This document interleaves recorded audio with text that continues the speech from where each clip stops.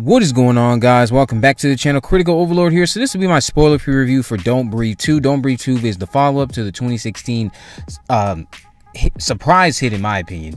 Don't Breathe, that was written and directed by Fede Alvarez. Fede Alvarez returns to co-write the script along with the person who's helming the film this time around, Rodo Sayagues, I believe is how you pronounce his name. He's directing the movie while also co-writing it along with Fede Alvarez, who just simply returned to help with the script. Now, Stephen Lang returns. We have Brendan Sack, Brendan Sexton. We have Madelyn Grace and we have Adam Young, we have Bobby Schofield, Rocci Williams or Roshi Williams, Steffan Rhodri, Stephanie Arcila. So now after I'm done butchering all those names, and Don't Breathe 2, we're following up with Norman Nordstrom, who is Stephen Lang's character. His name, just to start off with, no one uses this name in the movie. He is basically put in this position where now we're picking up with him there's no resolution to what happened at the end of the first film.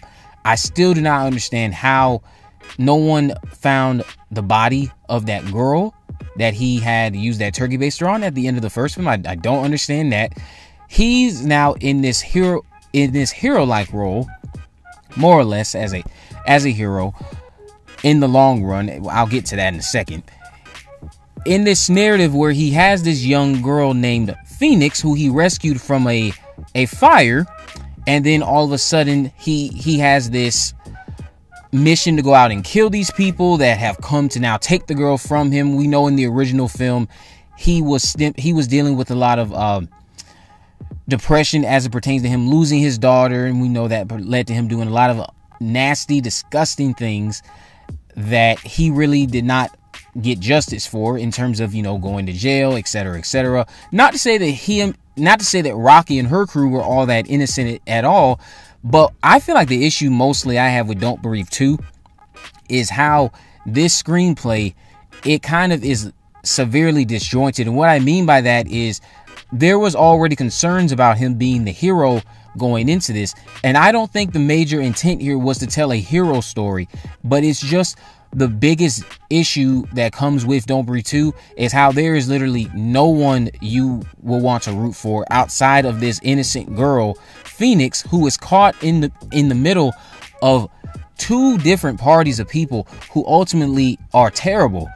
And when I say terrible, I'm just saying the way they're presented on screen, everything about them, it's terrible. The blind man, Norman, we know that he has his demons and that he had something terrible happen to him, but he's let his demons now take him on this completely different route in life where he's not easy to get behind. You don't feel attached to him at all whatsoever in terms of wanting to see him succeed in what he's doing. Don't Breathe 2 is just a good, entertaining action thriller full of a lot of gore. It exists for no reason for the most part, honestly. And this is coming from someone who thought that this movie would justify its existence. And it does not do that. It does not do that at all whatsoever. This direction with this character, it's pretty much telling a story of a broken man who knows he isn't a hero. You're not expected to see him as a hero. And he's kind of just doing a good deed for a innocent child for eight years. I'll just say eight years because eight years is a thing brought up early on in the film.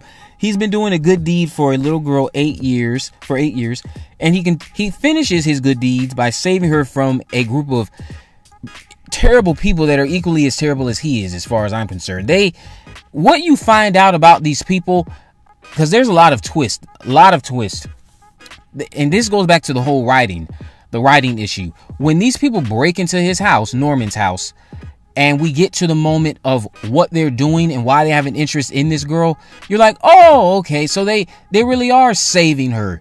And then you come to find out something else about them you're like wait what?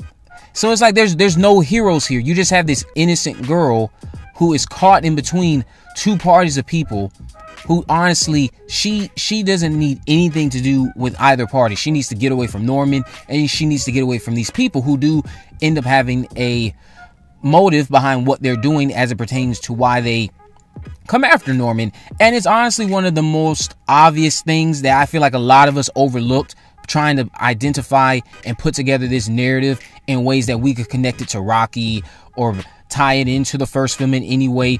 This the answer that you get for what they're doing.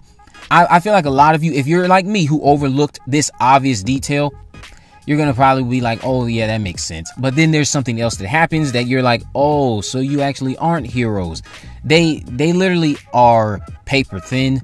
You don't learn anything about them outside of just what their roles are as it pertains to the character of Phoenix.